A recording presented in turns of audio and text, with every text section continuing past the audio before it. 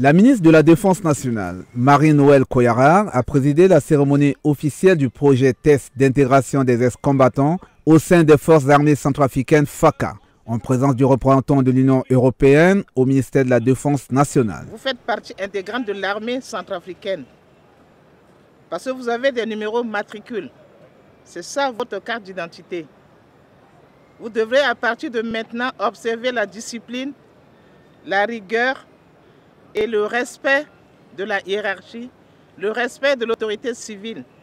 Après le projet pilote du programme de désarmement, démobilisation, réinsertion et rapatriement DDRR, des ex-combattants qui a été officiellement lancé mardi 30 août à Bangui.